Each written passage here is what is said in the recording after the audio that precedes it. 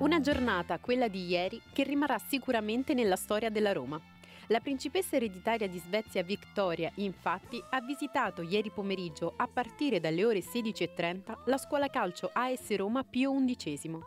La principessa è stata accolta dal direttore generale Mauro Baldissoni e dall'amministratore delegato Umberto Gandini, che hanno fatto da ciceroni e hanno illustrato la struttura all'interno della quale si svolgono gli allenamenti dei più piccini.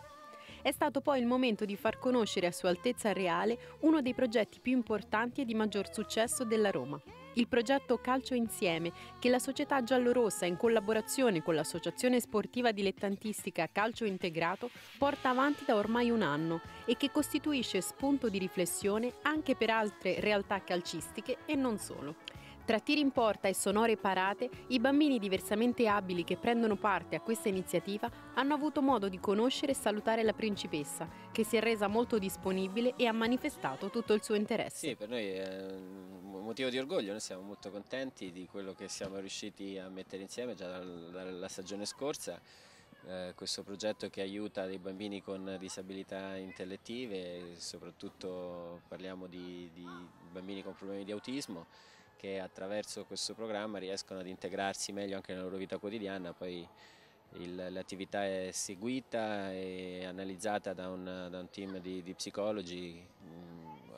il lavoro del quale ora sarà pubblicato addirittura in riviste mediche perché hanno potuto effettivamente misurare dei progressi concreti in quello che è appunto l'attività quotidiana di questi ragazzi anche al di fuori del, del campo. E noi ci siamo ovviamente offerti poi di dare ulteriori informazioni e collaborare per eventualmente replicarlo anche in Svezia perché eh, noi siamo molto contenti di poter condividere quello che stiamo facendo anche in Italia con, con altre società a cui lo proporremo, ma se è possibile travalicare anche i confini italiani e fare qualcosa in, in Svezia ovviamente un ulteriore motivo di orgoglio. Lo staff tecnico giovanile AS Roma ha poi condotto la principessa e il marito Daniel sul terreno del campo di allenamento, dove i giovani atleti classe 2007 hanno regolarmente svolto il loro allenamento pomeridiano ma quest'oggi con un pubblico d'eccezione. Al centro del campo di gioco la delegazione svedese e la rappresentanza AS Roma si sono scambiate dei doni.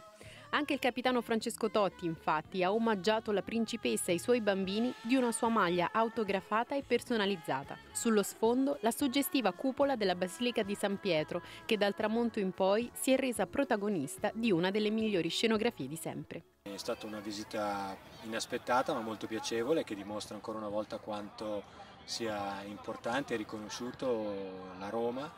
eh, nel mondo e il fatto che abbiano proprio voluto specificatamente visitare il nostro settore giovanile, il nostro settore qui,